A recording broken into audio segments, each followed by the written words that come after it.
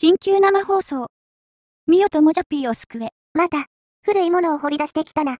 動画ファイル整理してたら出てきたのでやります。これいつ頃撮ったやつやねん。確か、GTA3 のパート8ぐらいの時ぐらいですね。仮面をつけた謎の集団に囚われたミオとモジャピー。どうやら、この屋敷のどこかに閉じ込められてるらしい。屋敷に隠された謎を解いて二人を救出しよう。仮面の集団ね一体何ギャングなんだ？どこのお給料ギャングかな？なんか、めちゃくちゃ古い家だね。うちは、結構、こういう感じの家好きやで。どこか、入れそうなところないかな？いや、玄関から入ろうや。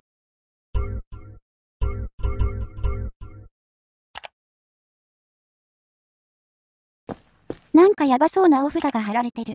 開ける場所に貼られてるみたいだからへがさないと無理ちゃう？こんなのへがすバカが、どこにいます？へがさないで開ける方法があるはず。無理みたいやな。諦めてへがしなさい。あー、もう。セキュリティ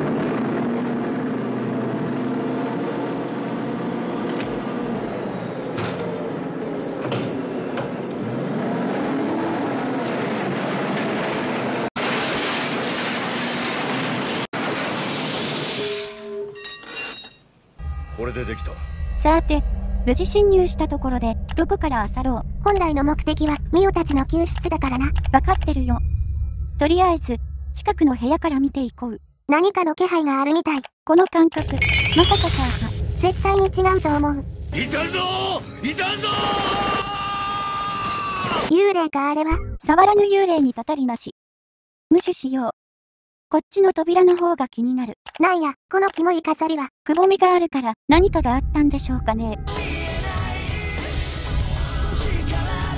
開かないな。不思議な力で。このぐらいの扉なら、体当たりで壊せそうなんだけど。とりあえずここは後回しやな。しょうがない。2階に行きましょう。ランプだ。つくということは、電気が通ってるんやな。あ、勝手に光り始めた。幽霊がまた出てきたな。来るなら来てみやがれ。我あおば我あおば。人んちのランプで遊ぶな。遊んでないで、さっさと先に行け。手前の部屋が怪しいから、奥から調べましょうか。他は閉まってるみたい。諦めて、手前の部屋に入ろう。締め出された。結局2階に来たのに何もないんかい。周り調べて、1階に降ります。と思ったら開いたわ。わけがわからないよ。とりあえず入ってみる。中は思ったより綺麗だな。おいバカやめろ。おもちゃが散乱してる。ここは子供部屋かな。ということは、さっきの子供の幽霊もここに？けど、見たところ、誰もいない感じ。うん、誰もいない。絶対何かいるやろ。たけしでも引きこもってるんでしょ。放っておいてあげて。古いおもちゃばっかりあるな。ブリキのおもちゃとか、実物見たことないわ。金魚のおもちゃがあるね。これ見てると貯金魚を思い出す。他は何かあるかな？ダンスは調べないよ。たけしが出てきても嫌だし。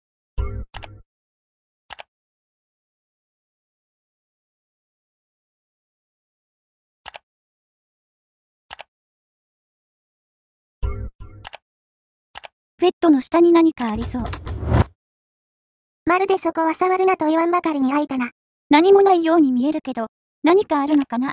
一応は調べてみましょう。い、今起こったことをありのまま話すぜ。勝手に開いたクローゼットを調べようとしたら勢いよく閉じた。何を言ってるのかわからないと思うが、私も何が起きたかわからなかった。わかったから、とりあえず扉叩いてみようや。よーし、お姉さん頑張っちゃうぞ。開いたな。このリズムで開いてしまうのか。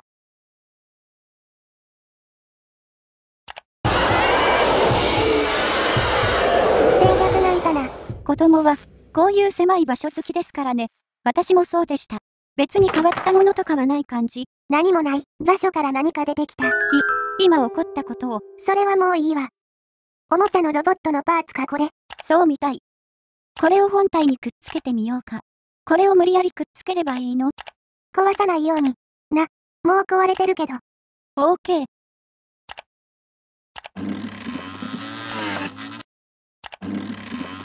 ーケー。結ポンコツが動けってんだよ治った治った。というか治った瞬間に勝手に立ち上がったよ。よくわからんが、問題なさそうやな。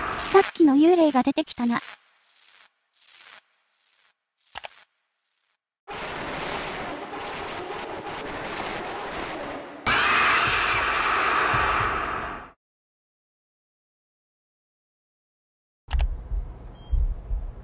まあ成り行きで直しました。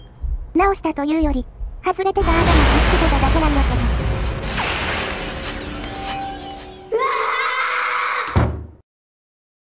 たけしのように引きこもっちゃった。今度は、がっつり締められてるな。ぶち破る。ほっといてもいいやろ。それよりも、足元の光ってるやつが気になる。なんだこれ石が落ちてた。さっきの子供が置いていったんかな。とりあえず持っていこう。他には、もう漁れそうなものも、ないし次の部屋へ行きましょう。あさるなし。やっぱり、奥の部屋は閉まったままか。1階に降りるか。そうだ。さっきの石。そこの封印された部屋に使えるんじゃない？なんかくぼみがあったみたいだし。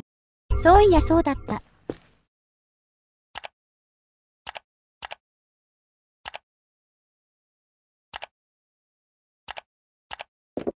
ぴったり入った。ここの鍵の代わりだったみたい。ってことは、あと2つ必要なわけか。石集めるのめんどくさいしこのドア破壊した方が早くない？おとなしく集めてきなさい。ウィッス、いざまだ見ぬ新天地へ。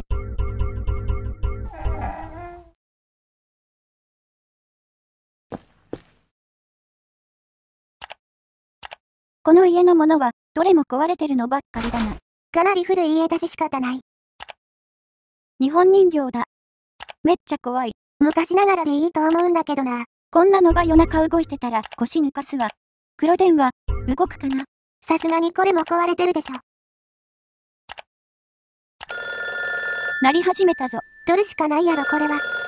ダメよ7時半に空手の稽古があるの付き合えないわ今日は休め私は取るのは嫌だからね。はよ取れや。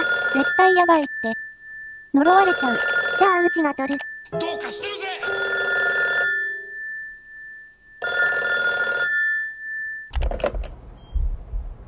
助けて助けて助けてくれ大変や。誰かが助けを求めてる。落ち着け。この黒電話に呼気は存在しない。つまり別の家からの連絡だ。無視だ無視。いやでも、幽霊が、何らかの力を使って、電話を鳴らしたのかも。なら、なおさら無視でいいんじゃなかろうか。野口秀夫が通り過ぎていった。いやただ似てるだけでしょ。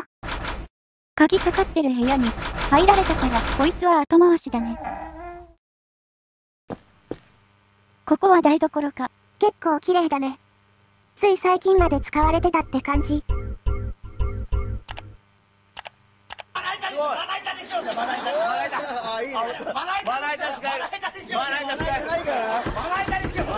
どうなるか試してみるか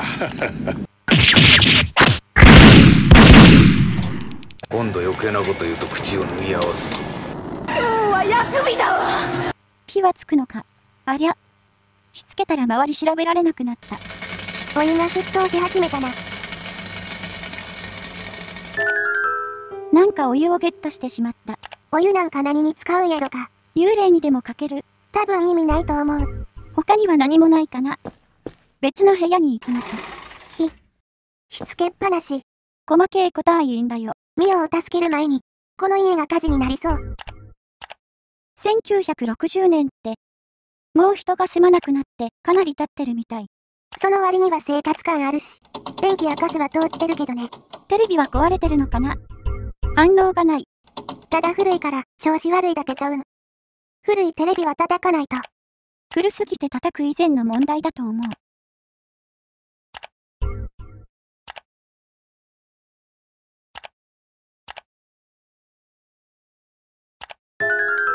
調べようとしたらミルクを取ってしまった。何年ものだよ。もし、当時のままならシーズになってるレベルだ。なんか、一つカップがないみたい。台所にあるんかな。いや、ただ下に落ちてるだけだった。それで、カップを戻すのはいいけど、この後どうするんやろうか。ミルクが置いてあるということは紅茶を入れろということだと思うんだけど、その紅茶がない。カップが震えた。自身じゃあ、他のカップは揺れてないだろ。いい加減にしろ。テレビが勝手についた。落ち着け。まだ慌てるような時間ではない。しかも砂嵐。貞子でも出てくるんちゃうか。そん時はテレビ叩き壊せばいいが、誰かかやこさん呼んで。かやこより、工藤ディレクター呼んだ方がいいと思う。知らない人は怖すぎ見ればいいと思うよ。よかった。貞子じゃなかった。違うそうじゃない。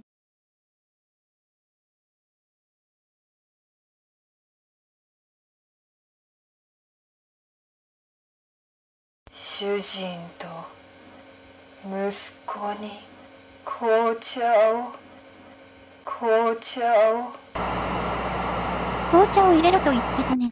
探してみようか。そしてまたつかなくなった。お願いゆかりさん、巻き舌宇宙で有名な紫ミミズの剥製は、腹切る岩の上で音叉が生瞬きするといいらしいぞ。落ち着け。私は一体何を？あなた疲れてるのよ。そうだな、さっきので取り憑かれたかも。そういう意味じゃない。何かが足りないらしい。紅茶だと思うけど。貴様に足りないものは、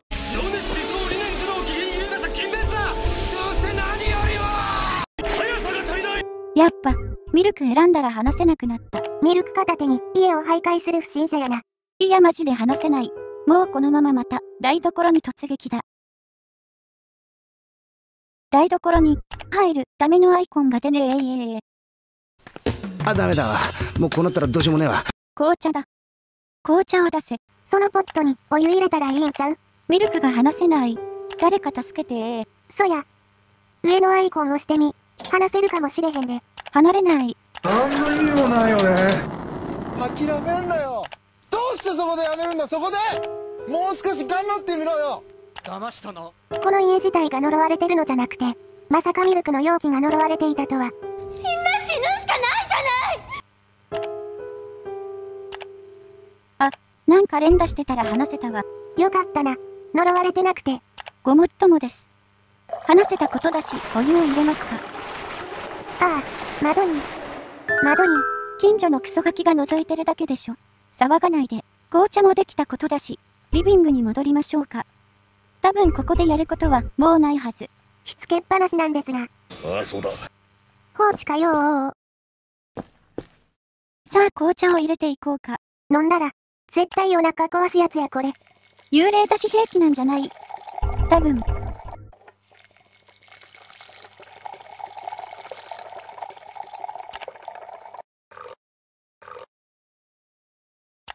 さらっとミルク追加しようとすんな。はいはい。紅茶作ってあげたから成仏してね。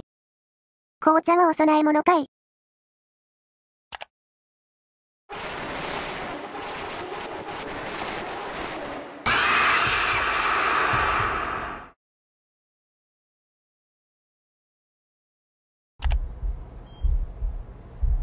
どうやら、主人と息子は紅茶が好きみたいだけど、あの、女は紅茶が嫌いらしい。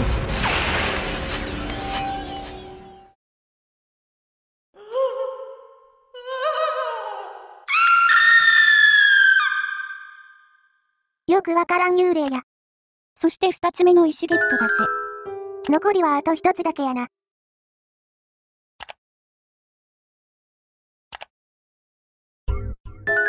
あれ？さっき、ここに鍵なんて落ちてたっけ？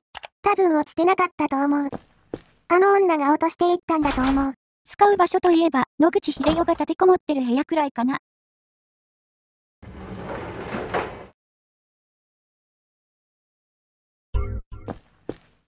やっぱり誰もおらへんな。まあまた、部屋の中物色してたら出てくるでしょ。壊れてるのかこれ。部品があれば修理できるみたい。時計とか作ったことないから直せないよ。昔の電気製品みたいに叩けば直らないかな。テレビは、治っても時計は無理だと思う。野口秀夫かと思ったら全然似てなかった。うちは、本の方が気になる。えーなになに？この家に引っ越してから、妙なことばかり起きる。昨日、突然鎧が動き出した。あんな奇妙なものは売ってしまおう。鎧が動く程度で呪い扱いかい。鎧なんて動いてなんぼじゃないの。我が家は呪われている。この間は、家の上空にプテラノドンが現れた。プテラノドンが飛んでるだけやないかい。そのうち雨が降っただけで呪われてるとか言いそうだな。アメリカだったら、筋肉もりもりのマッチョが空から落ちてくるぐらいだから、プテラノドンはマシな方だね。大切にしていた置き時計が壊れてしまった。これも呪いのせいだろうか。早く直さなければ、鎧が動くのはわかる。プテラノドンもまあ許そう。しかし時計とは、その顔みたいな落書きは何なんやろうな。さあ、さっきまでは、新聞の切り抜きだったのにね。きっと、息子が落書きでもしたんじゃないの。さて、引き出しを開けて、金目のものを探そうか。残念ながら、価値のありそうものはなさそう。のおーおーおー。次元爆弾が起動した。この箱を漁ったらカウントダウンが始まった。ということは、この部品で何かするのかも。そうや。時計。時計調べてみでも、私時計なんて修理したことないよ。ゆかりちゃんならできる。多分、他人事みたいに言っちゃって。最悪間に合わなかったら、ミオとモジャピーを見捨て逃げることも視野に入るといて。逃亡者は銃殺される。あ、なんか思ってたより簡単だぞこれ。頑張れ。頑張れ。やかましい鬱陶しいぞこのアーマーええこの歯車、なかなかに取り、というか、微妙に、歯車の跡がついてるな。これは壊れてるというより、誰かが、意図的に歯車を外したって感じ。そんな感じがするかな？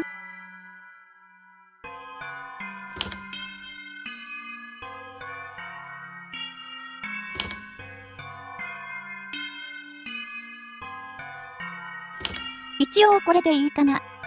残った部品は適当にはめておこう。これで治ったね。さすがやな。説明書を読んだのよちょっと待て。カウントダウン終わってないぞ。今までの感じだと、また幽霊が出てきそう。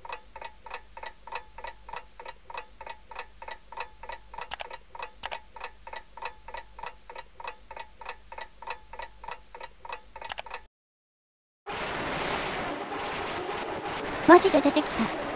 おい、早くタイムリミットなんとかしろ。じゃないと、このさりげなく、まだ持ってる熱々の紅茶をぶっかけるぞ。節子、それ紅茶ちゃう。ミルクや。幽霊みたいな身体ってことは幽霊ではないのか。時々透明になれる透明人間やな。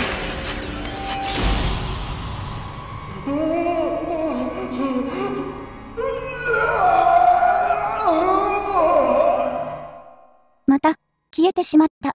そしてカウントダウンはそのままである。石置いてあるで。それで最後やろ。これで封印された秘密の部屋に行けるね。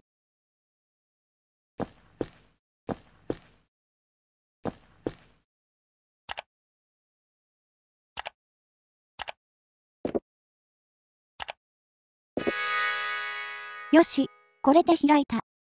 あとは、敵に備えてミルク片手に突撃だ。